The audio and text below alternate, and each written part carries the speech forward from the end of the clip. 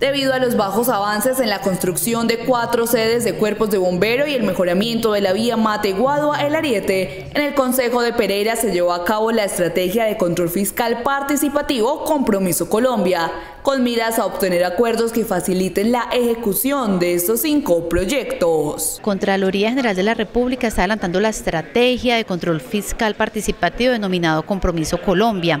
Esta, esta estrategia, ¿qué es lo que quiere? Realizar un acompañamiento, servir de mediador en esas obras de vital importancia donde su nivel de ejecución es muy bajo. Según el secretario de Infraestructura del departamento de Risaralda, la intervención que se adelanta por parte de la Contraloría es importante importante en este proceso. Recibimos, para nosotros es de buen recibo que la Contraloría, digamos, dentro de sus auditorías visibles y en este plan que estamos eh, desarrollando estos proyectos, pues se hace visible que, digamos, cuál es la problemática que se puede estar presentando.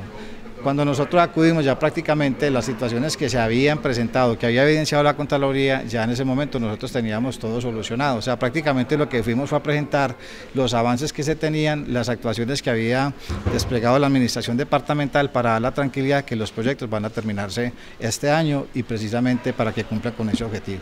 Luego del encuentro que se llevó a cabo, las entidades firmaron un compromiso. El compromiso que se firmó hoy es de las cuatro sedes eh, de estos municipios van a ser entregadas en el primer trimestre del año 2020 y la vía de pavimentación y mantenimiento vía Mateguadua va a ser entregada en la última semana del mes de noviembre. A través de este programa la Contraloría busca hacerle seguimiento a los proyectos de inversión financiados con los recursos del Sistema General de Regalías que presentan atraso en su ejecución por motivos jurídicos, técnicos o financieros.